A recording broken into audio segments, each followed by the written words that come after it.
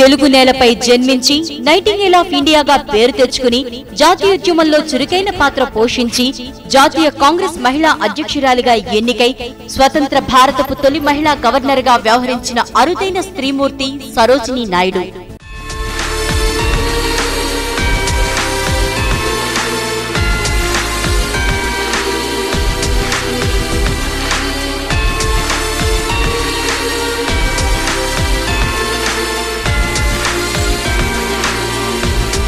సరోజినీ నాయుడు పద్దెనిమిది వందల డెబ్బై తొమ్మిదిలో హైదరాబాద్లో స్థిరపడ్డ బెంగాలీ కుటుంబంలో జన్మించారు.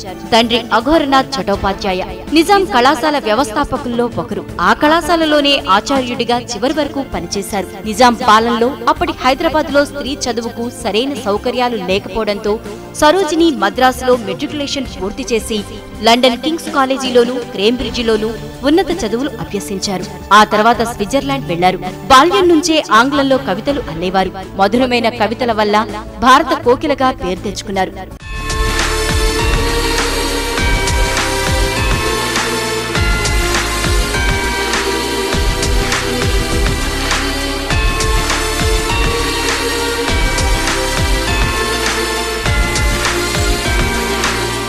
సరోజిని కందుకూరి వీరేశలింగం సమక్షంలో డాక్టర్ గోవిందరాజు నాయుడిని కులాంతర వివాహం చేసుకున్నారు.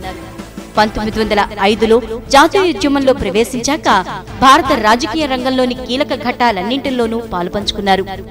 సరోజినీ నాయుడు స్వరాజ్య నినాదంతో భారతదేశమంతటా పర్యటించి ప్రజలను సమీకరించారు.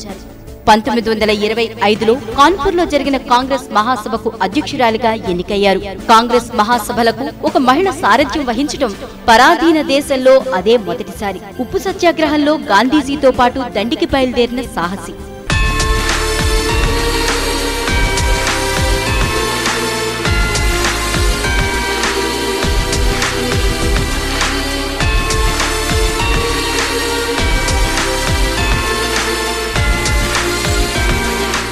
గాంధీ నెహ్రూల అరెస్టు తర్వాత సరోజిని నాయకత్వం కింద ఉప్పు కొట్టాల మీదకు వెళ్ళిన సత్యాగ్రహాల బృందాన్ని ఆపేందుకు పోలీసులు ప్రయత్నం చేసి చివరకు ఆమెను అరెస్ట్ చేశారు. పంతొమ్మిది వందల ముప్పై ఏడు ఎన్నికల్లో పాల్గొని దేశమంతా తిరిగి ప్రచారం చేశారు. ఆ తర్వాత క్విట్ ఇండియా ఉద్యమంలో పాల్గొని అరెస్ట్ అయ్యారు. దేశం స్వతంత్రమయ్యాక ఉత్తరప్రదేశ్ గవర్నర్గా పనిచేశారు. Golden threshold the bird of time the magic tree broken wing వంటి రచనలు చేశారు.